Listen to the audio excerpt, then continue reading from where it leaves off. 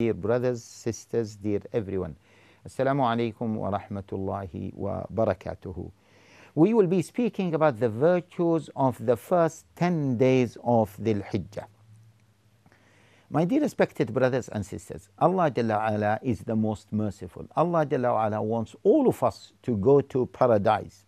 Allah Jalla wants all of us to be happy both in this life and most importantly in the hereafter.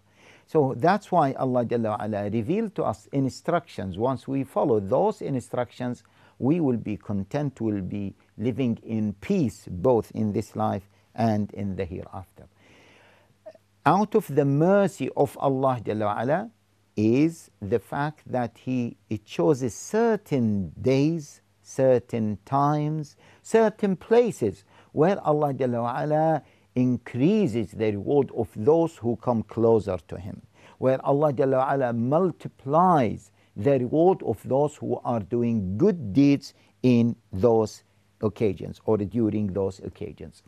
Generally speaking, Allah Jalla gives Allah Jalla multiplies the reward for each single deed any of us uh, does by 10 times. But there are certain times where Allah Jalla even multiplies them even more and more to come closer to Him. We fasted the month of Ramadan a few weeks ago or a few months ago, and the last 10 nights of Ramadan were the most virtuous nights that is not the end of the story. The first 10 days of Dhul Hijjah again are very, very virtuous, and the scholars even they were comparing between the status of the last 10 nights of Ramadan and the status of the first 10 days of Dhul Hijjah. Some of the scholars said the last 10 nights of Ramadan are more virtuous than the first 10 days of Dhul Hijjah. Some other scholars said no, the first 10 days of Dhul Hijjah are more virtuous than the, the last 10 nights of Ramadan. Anyway, we don't want to get into that, but the fact that they were comparing the first 10 days of Dhul Hijjah with the last 10 days of Ramadan, this means a lot. Why is this? In Hadith Ibn Abbas radiallahu ta'ala anhu, uh, reported by Abi Dawood, the Prophet ﷺ said, There are no days in which the good deeds are more beloved to Allah than those 10 days of Dhul Hijjah. The companions of the Prophet ﷺ were amazed.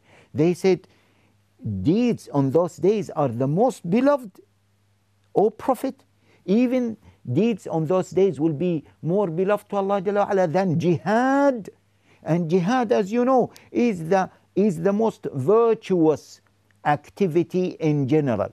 So the Prophet ﷺ said, yes, they doing good deeds on those days of Dhul Hijjah more virtuous than jihad, except for a person who went for jihad with his himself, with his wealth, and he lost both of them. Imagine, my dear respected brothers, and sisters.